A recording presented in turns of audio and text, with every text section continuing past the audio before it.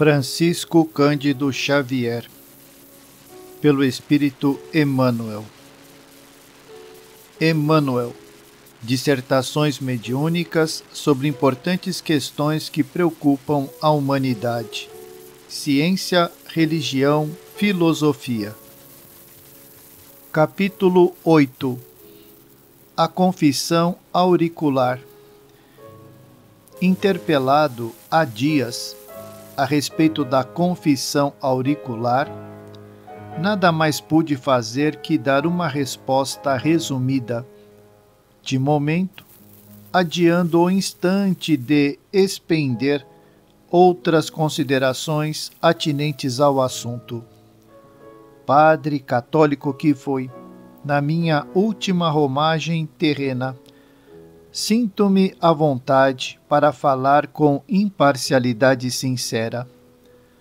Não será a minha palavra que vá condenar qualquer religião, todas elas nascidas de uma inspiração superior que os homens viciaram, acomodando as determinações de ordem divina aos seus próprios interesses e conveniências desvirtuando-lhes os sagrados princípios.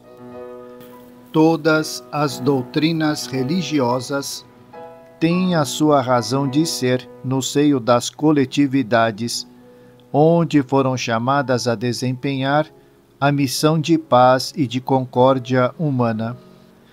Todos os seus males provêm, justamente, dos abusos do homem em amoldá-las ao abismo de suas materialidades habituais e, de fato, constitui um desses abusos a instituição da confissão auricular pela Igreja Católica.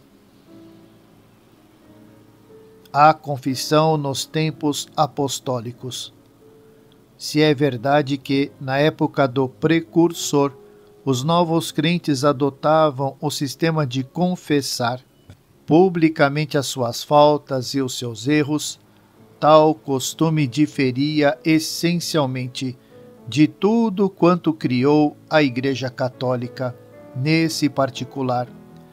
Depois da partida para o além, dos elevados espíritos que lançaram, com o sangue dos seus sacrifícios, e com a mais sublime renúncia dos bens terrenos, as bases da fé, as quais têm resistido ao bolor dos séculos. A confissão pública dos próprios defeitos, nos tempos apostólicos, constituía para o homem forte barreira, evitando sua reincidência na falta. Um sentimento profundo de verdadeira humildade movia o coração nesses momentos, oferecendo-lhe as melhores possibilidades de resistência ao assédio das tentações. E semelhante princípio representava como que uma vacina contra as úlceras do remorso e das chagas morais. Todavia, os tempos decorreram e, no seu transcurso, observou-se a transformação radical de todas as leis sublimes de fraternidade cristã anteriormente preconizadas. A confissão auricular e a sua grande vítima. A confissão auricular constitui uma aberração dentro do amontoado das doutrinas desvirtuadas do romanismo e é justamente a mulher, pelo espírito sensível de religiosidade que a caracteriza, a maior vítima do confessionário. Infelizmente, toda a série de absurdos do inqualificável sacramento da penitência é oriunda dos superiores eclesiásticos, dos teólogos e falsos moralistas da Igreja que, perversamente criaram os longos e indiscretos interrogatórios aos quais terá a mulher de submeter-se passivamente diante de um homem solteiro, estranho que ela inúmeras vezes nem conhece. Os padres, geralmente, em virtude do seu desconhecimento dos sagrados deveres da paternidade, não a vão interpelar no tocante às obrigações austeras do governo da casa. Ferem exatamente os problemas mais íntimos e mais delicados da vida do casal, violando o sagrado respeito das questões do lar, dando pasto aos pensamentos mais injustificáveis e, às vezes, repugnantes. E o véu de modéstia e de beleza que Deus concedeu à mulher, para que ela pudesse mergulhar qual lírio de espiritualidade nos pântanos deste mundo, é arrancado justamente por esse homem que se inculca ministro das luzes celestes. Muitas vezes é no confessionário que começa o calvário social da mulher.